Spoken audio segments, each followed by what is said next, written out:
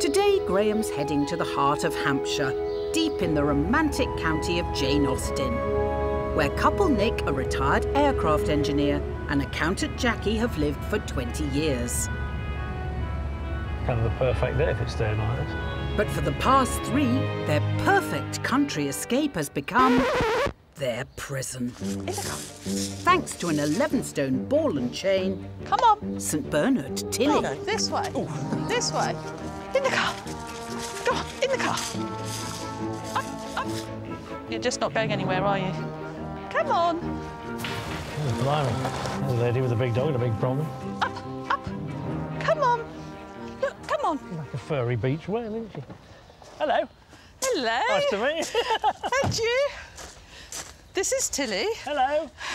This is Ah. our, our dog that won't get in the car. Come on, Tilly. This way. Come, on. on. Come say hello. Let's go for a walk over the mountain. this way. Come on. Come on. Come on. Come on. Come on, Tilly. Oh, So this happens every time. right. So when she's like this, what do you do next?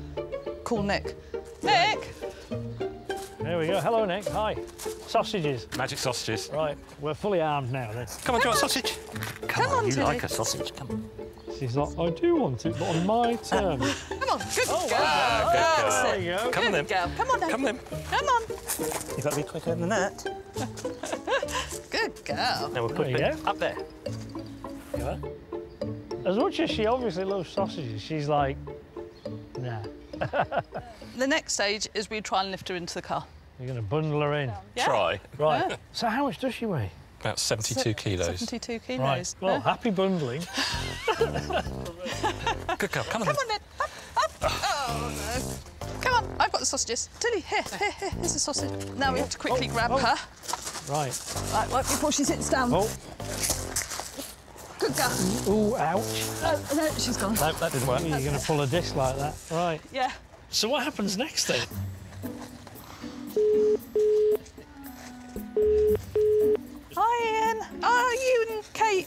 Around this morning? Would you be able to come and help us get the dog in the car? Oh, that'd be lovely. Lovely. Thank you so much. Bye. I love the fact it's like the most perfectly normal thing to say, can you just come around and help us get the dog in the car? They're used to it. what effect is this having on you? Well, we're housebound, really. We can only go out for two or three hours because can't leave Yeah. her for longer than that. Yeah. And she won't come with us. We've got grandchildren that we can't visit because they're three hours away, so we would have to stop on our journey there. Um, um, But we can't stop with her in the car because we can't get her back in again. Where's this mad dog then? All right, here's your friends then. Here's Ian. Oh, yeah. You're happy now. Oh, yeah, look. I'm fine, I'm fine. How are you? You've been a bit of a pain again, She's-? Right, should we go? Should we go? Should we go? Blimey. Come on. That way. No, I'll, I'll take Right, now she's up. Right. Good girl. Okay.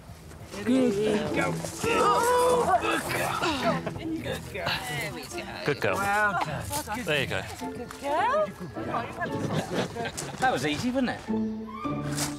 I've got to say, it was a bit like one of those executive team building exercises. How to get this huge dog into the car. Right, there you go, team. But it's not just leaving the house where Tilly throws her weight around. She makes a mountain out of meal times too. Come in, Graeme. Um, I'll show you the problem Tilly has with food. These are a range of bowls that we've had that she won't eat from, and then she'll happily eat from the floor. But now I can't get her to eat from any bowl. Oh, I see. Oh, there's some food. Tilly, come get your dinner. Come on, come get your dinner. Here you go. Look, come on, Tilly. Here you go. Here. Come on, here's your dinner. Can tempt her with some sausages, and Yeah, I'll, I'll try why not? those. Here you go. So- Oh, you like your sausages? Here you go. Oh, Look, maybe. sausages. Oh. And if you tip a bit out onto the floor, then? Tilly, here you go. There you go. Good girl. In like a shot, look. Oh. So she'll eat from the floor, but you can't take her anywhere to anyone's house. People don't want a dirty, hairy dog eating from the floor, and if they've got a nice house.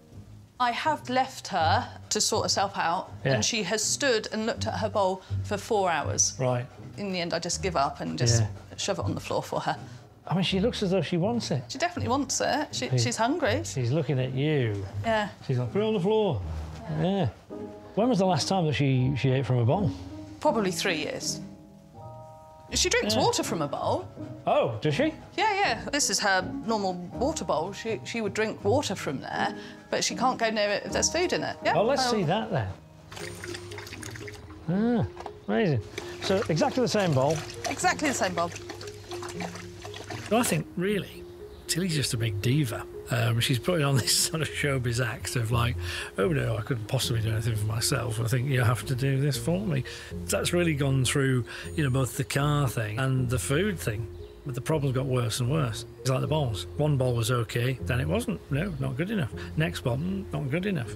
I think she's one of those dogs that, you know, she's a lot smarter than she's cottoning on. Anytime you try and get her to go anywhere near the car, that's when she just sort of throws herself at the ground and she's not having any of it. It's like a show, this. And there's no doubt who the star is. She throws herself on the floor, and then you guys up the ante, understandably. So it's like, oh, the sausage, right? And she's like, no, no, it's not good enough. You have to bring it to me. So all the time you're trying to get her to move forward, naturally what you're doing is you bring the sausage back to her. Yeah, So it's like, yeah. why would I bother getting into the car? Right? If I get in the car, all this stops. And uh, I've discovered recently that if I really, really won't get in, my friends turn up. And I love them. Is he Any behaviour that feels rewarding always increases.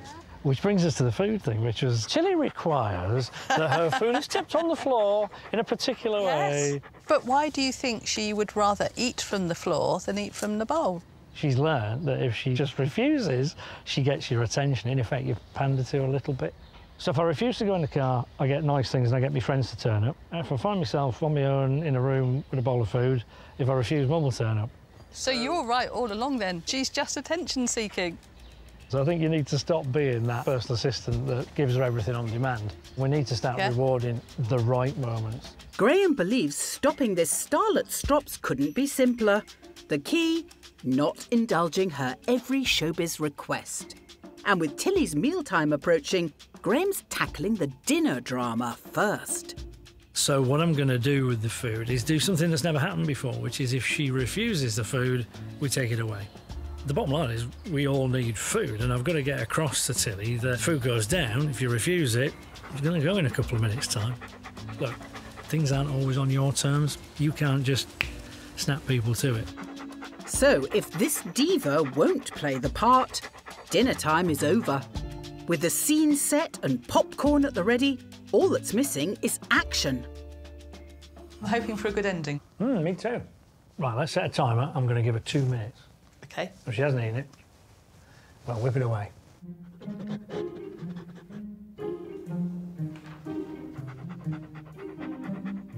True to form, Tilly sticks with playing the diva.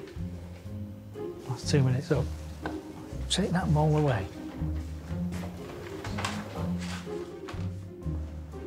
Ah.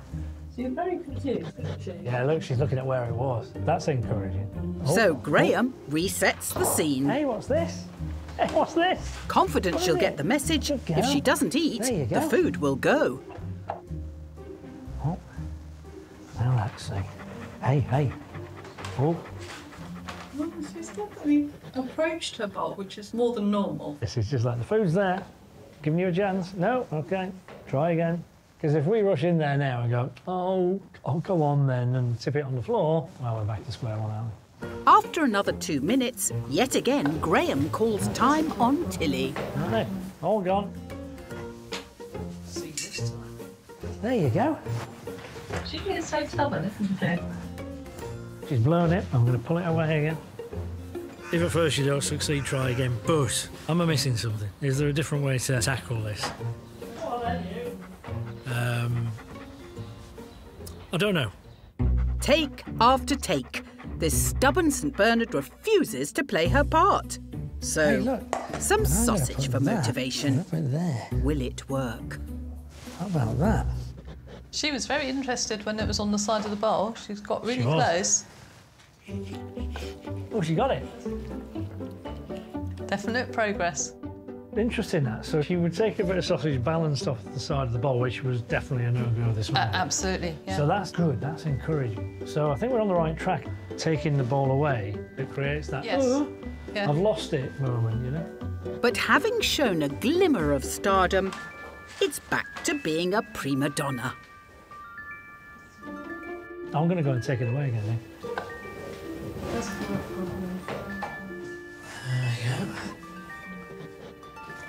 There was a moment when it looked as though Tilly was going to eat from the bowl, but then she went back the other way. Uh, I mean, I've, I've tried and I've tried, but we can't go into the night not feeding her. After over an hour of waiting, one final take. One. It's tempting, isn't it?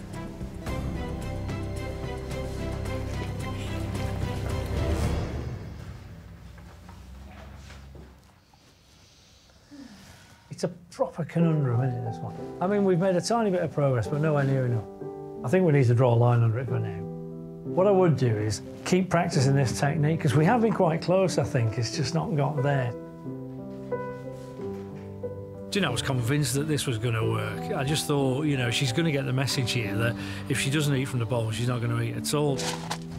I'm a bit deflated, if I'm honest, because I'm facing the possibility that I might have to do things completely differently.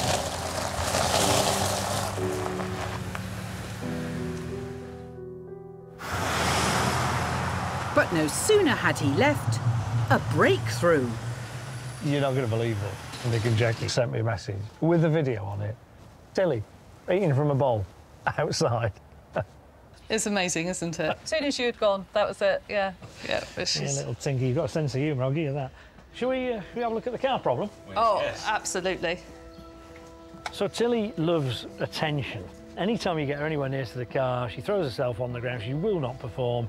And that was getting the adulation from her audience. So I'm going to switch this around. If you move towards the car, yeah, we'll give you a little treat, sure. But you'll get the audience sort of appreciation that the performer in you is craving. And I'm going to roll out the red carpet for this one, literally. What about that? Just for you, a red carpet. She's like, hmm, I should think so too. Would Madam like to do some dog training? Yes, please. I think Madam would, wouldn't she? Good girl. Right. Madam, your red carpet awaits. Luring Tilly with treats, Graeme wants to direct her onto the red carpet and eventually in the car with a command fit for a leading lady. Action. When she performs, Yay, good girl. she gets the audience's adulation. Now then, we're going to move the red carpet. Action. Clever girl. Interesting. She's even waiting for that moment, isn't she? Hitting her marks, Graeme wants to give her more room to perform. I don't think she's going to be running around anyway. Why don't we take her off the lead? Yeah, okay. That's it. Good girl. Good girl. Wait. Wait. Action. This is good. So I must have moved a couple of metres, I think. Um, I think we're making decent progress. Yeah, absolutely. Tilly, action. Good girl. But can Tilly make the leap to girl. superstardom? And the red carpet's going into your limousine, madam. So, ready?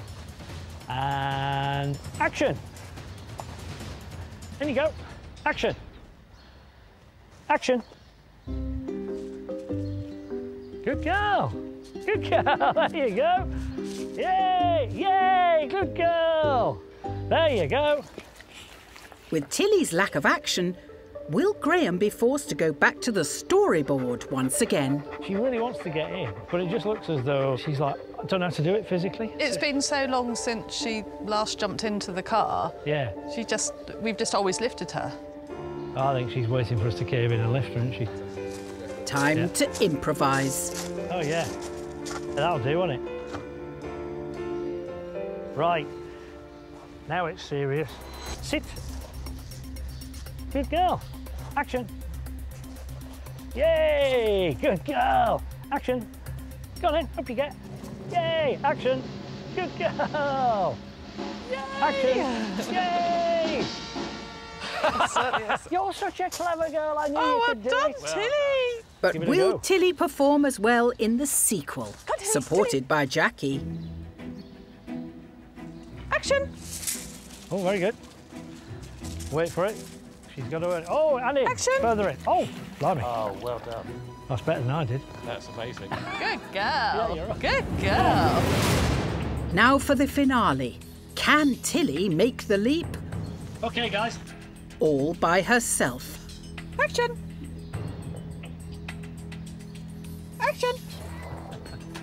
Go on then. Yay, clever girl. You can do this. Yay! Fabulous. A BAFTA worthy Good girl. performance. Tell you what. For four years, Tilly's been keeping Nick and Jackie oh, prisoner in their own home. Oh. Hopefully, now they can hit the road and visit family across the country with A-lister Tilly in tow. Magic. I would never have believed that she would have got in the car without being on the lead or anything. Just on command is amazing. It's going to be a massive difference. I mean, it's set them free, isn't it? And let's not forget, it'll make a big difference to Tilly. She doesn't know what she's been missing out on.